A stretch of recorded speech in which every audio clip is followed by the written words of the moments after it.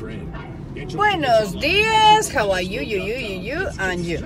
Okay, now, like I was uh, putting, uh, if you cut in your carbs because you have the sugars, because you have um, diabetes, I understand you can change your carbs for different ones that do not affect your glycemic index. Uh, for everyone who doesn't know, the glycemic index is something that when you eat something sugary or high processed uh, carbohydrate, your body's going spike, and that is what is the sugars come high. Now, um, if you cut in carbs, there and you feel constipated because you cannot eat too many carbs, or because it happened to me too.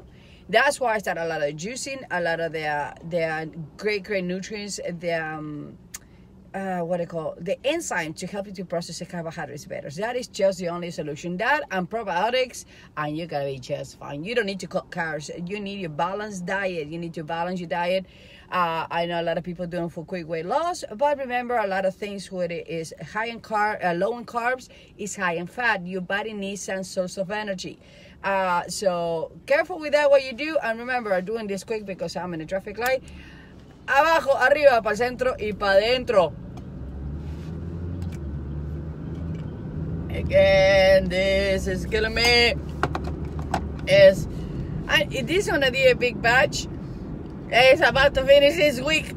This Friday or Saturday, start a new batch. So stay tuned for see if you want to see how I make my juices.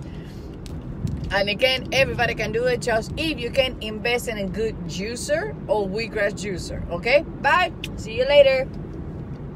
Hey.